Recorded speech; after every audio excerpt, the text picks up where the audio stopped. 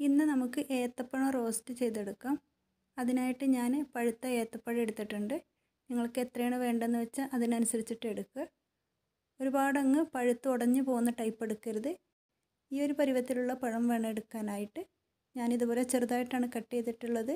നിങ്ങൾക്ക് കുറച്ച് വലുതായിട്ട് വേണമെങ്കിൽ അങ്ങനെയും കട്ട് ചെയ്തെടുക്കുക എന്നിട്ട് ഞാനൊരു പാൻ വെച്ചിട്ടുണ്ട് സ്റ്റൗവിൽ അതിലേക്ക് കുറച്ച് ബട്ടർ ചേർക്കുന്നുണ്ട്. ബട്ടറിന്റെ കൂടെ കുറച്ച് നെയ്യും കൂടെ ചേർക്കുന്നുണ്ട്. ഇനി നിങ്ങളുടെ കയ്യിൽ നെയ്യ് മാത്രം ഉള്ളെങ്കിൽ നെയ്യ് മാത്രം എടുക്കുക അതല്ല ബട്ടർ ഉള്ളൂ എന്നുണ്ടെങ്കിൽ ബട്ടർ മാത്രം എടുത്താലും മതി കേട്ടോ. ഇതിനകത്തേക്ക് കുറച്ച് കാഷ്യൂ നുറുക്ക് ചേർക്കുന്നുണ്ട്. ഈ കാഷ്യൂ നുറുക്കല്ല നിങ്ങളുടെ കയ്യിൽ കുറച്ച് വലിയ ടൈപ്പ് ആണെങ്കിൽ അതെടുക്കുക എന്നിട്ട് ചെറുതായിട്ടൊന്ന് റോസ്റ്റ് ചെയ്തെടുക്കുക കാഷ്യൂ നല്ലപോലെ റോസ്റ്റായി കഴിഞ്ഞാൽ ഇതിനകത്തേക്ക് നമ്മൾ കട്ട് ചെയ്ത് വെച്ചിട്ടുള്ള ഏത്തപ്പഴം ചേർത്ത് കൊടുക്കുക പഴം ചേർത്തതിന് ശേഷം ഈ നെയ്യിൽ നല്ലപോലെ ഒന്ന് മിക്സ് ചെയ്ത് കൊടുക്കുക. അതിനുശേഷം ഇതിനകത്തേക്ക് പഞ്ചസാര ചേർക്കണം. പഴത്തിന്റെ മധുരത്തിനനുസരിച്ചിട്ട് വേണം പഞ്ചസാരയൊക്കെ ചേർക്കാനായിട്ട്.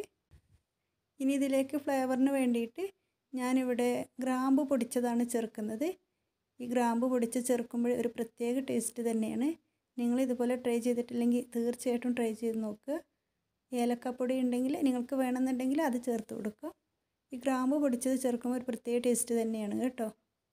എന്നിട്ട് നല്ലപോലെ മിക്സ് ചെയ്യുക. അതിനുശേഷം ഇതിനകത്തേക്ക് നാളികേരം ചെരുവിയത് ചേർത്ത് കൊടുക്കുക. ഈ നാളികേരം ചെരുവിയതും ചേർത്തിട്ട് വീണ്ടും നല്ലപോലെ മിക്സ് ചെയ്യുക. ഇതിലേക്ക് ഇത്രയും ഇൻഗ്രീഡിയൻസ് മാത്രമേ ചേർക്കാനുള്ളൂ. നല്ല ടേസ്റ്റി ആയിട്ടുള്ള നമ്മുടെ ബനാന റോസ്റ്റ് റെഡി ആയിട്ടുണ്ട്. നിങ്ങളെല്ലാവരും ട്രൈ ചെയ്ത് നോക്കിയിട്ട് അഭിപ്രായങ്ങളൊക്കെ കമന്റ് ബോക്സിൽ അറിയിക്കുക. വീഡിയോ ഇഷ്ടമായ ഒന്ന് ലൈക്ക് ചെയ്തേക്കുക. സബ്സ്ക്രൈബ് ചെയ്യാതെ വീഡിയോ കാണുന്നവരുണ്ടെങ്കിൽ സബ്സ്ക്രൈബ് ചെയ്യുക. പുതിയൊരു റെസിപ്പിയുമായി അടുത്തൊരു വീഡിയോയിലൂടെ നമുക്ക് വീണ്ടും കാണാം.